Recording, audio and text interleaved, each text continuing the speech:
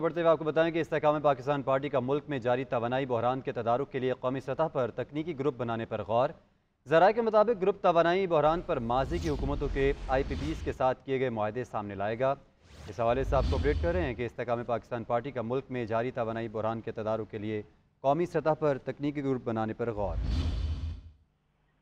बात करेंगे लाहौर से वासिफ महमूद से। वासिफ बताएगा इससे मतलब देखिए इस वक्त जो मुल्क में बिजली का बहरान जारी है और कीमतें बढ़ती चली जा रही हैं, उसके ऊपर अब इसकाम पाकिस्तान पार्टी ने भी मुतहरिक होने का फैसला किया है। तहम इसकाम पाकिस्तान की ये वाज पॉलिसी है कि वो सड़कों पर आकर जो एहतजाज वो नहीं करेंगे सड़कें ब्लॉक नहीं करेंगे।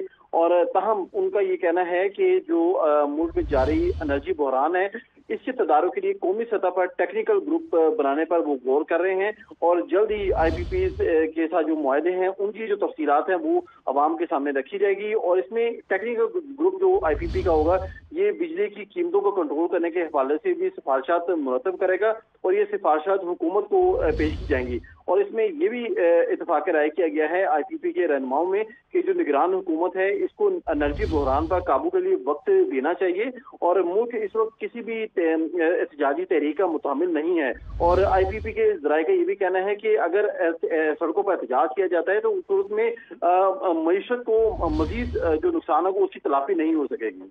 जी वासिद महमूद आपका बहुत शुक्रिया।